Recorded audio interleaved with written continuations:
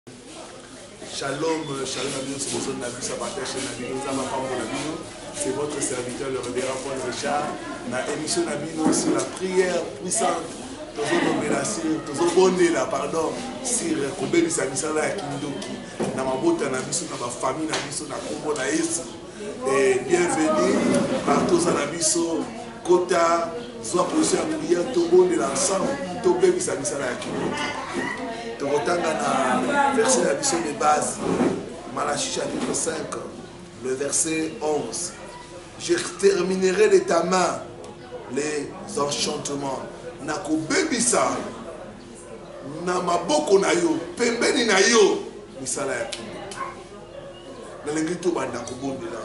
na ntongo na mpokwa leo, partout ozwa na biso, tobanda kobebisa misala ya kinduki na mabomoi na biso, na basante na biso, na mabota na biso, au nom de Jésus-Christ. Tobanda nanu kokumisa Nzambe apesa biso victoire na nzela ya ekulusu. Tombola maboko, tombola migongo na biso, banda kopambola Yesu. grâce à le vainqueur de la sorcellerie pambola ye tombola ye ye nde alongaki ndoki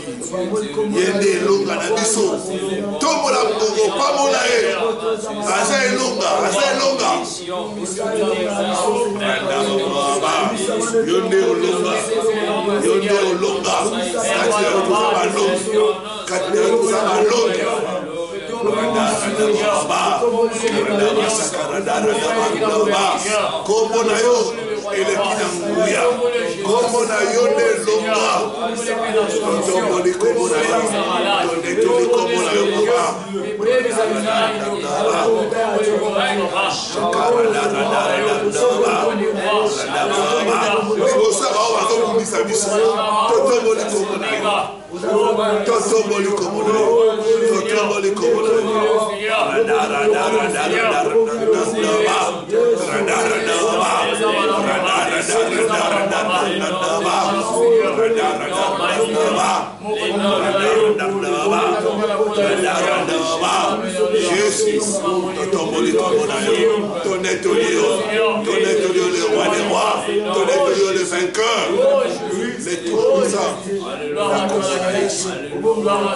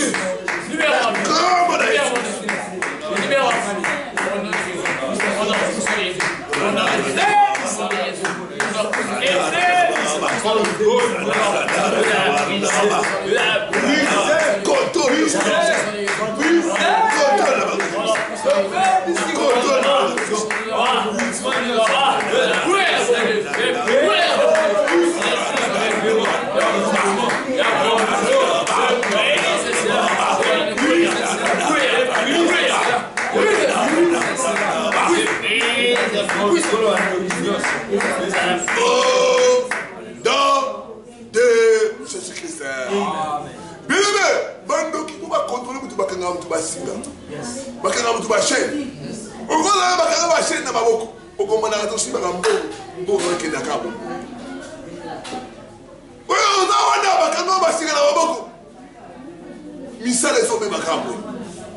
eza misala ya kindoki il faut tokata singa wana na kombo na yesu eza na bakendo oyo basinga na maboko avancement ezali nazoloba nde bosala toute sorte d'affaire mais finalement zero eza normal te singa wana akindoki bakanga na bongo tozokata yango na kombo na yesu singa wana epekisa koprospere na misala na ye tozokata yango na kombo na yesu loba nsima na ngai au nom de jésus singa nyonso bandoki ya fami na ngai bakangaka na maboko mpo nazwa mosala te mpo mosala na ngai ekende liboso te na kati yango na komona na kati yango na komona na kati basinga nyonso na maboko na ngai ekatana ekatana au nom de jésus